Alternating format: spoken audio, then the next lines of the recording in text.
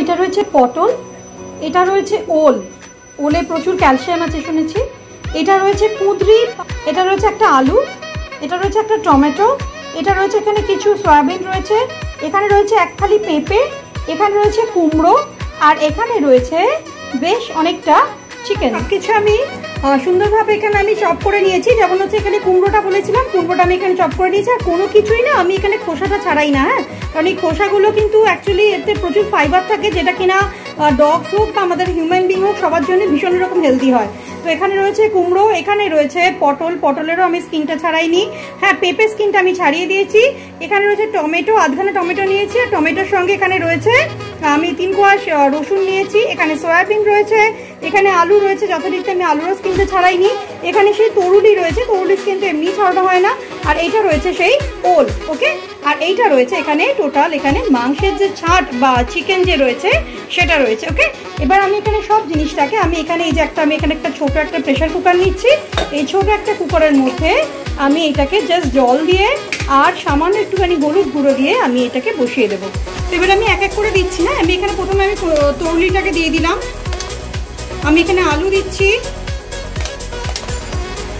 আমি এখানে সয়াবিন দিচ্ছি।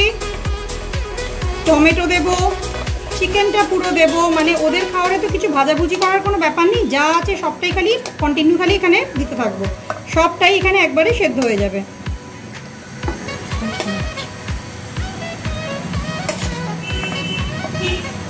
তো এখানে যে স্যুপটা তৈরি হবে ওই স্যুপটা আমি শিরোকে তো ভাতের সঙ্গে দিই দুপুরবেলা।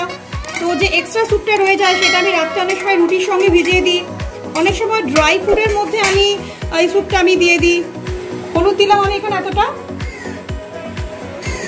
পুরো আমি এখানে এই যে জল দিচ্ছি।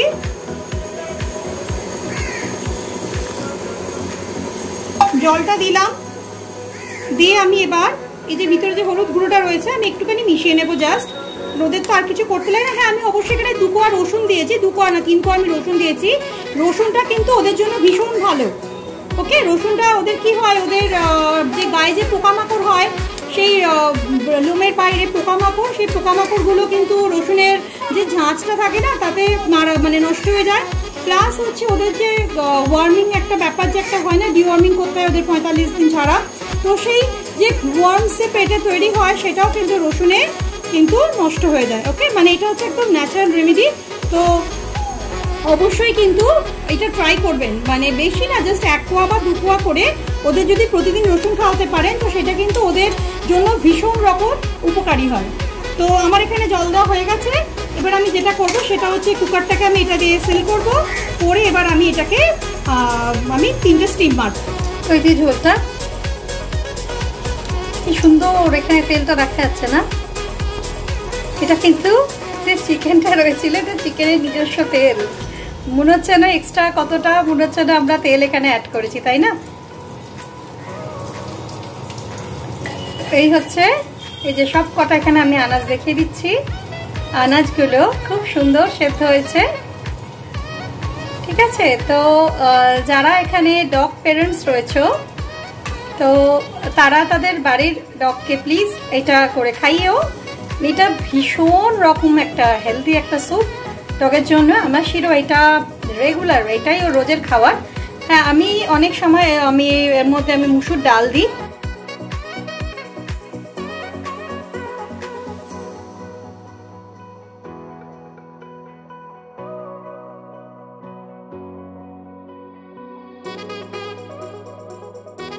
ভীষণ ভীষণ এটা হেলথের জন্য ভালো। তো সবাইকে আমি বলব প্লিজ ট্রাই করতে।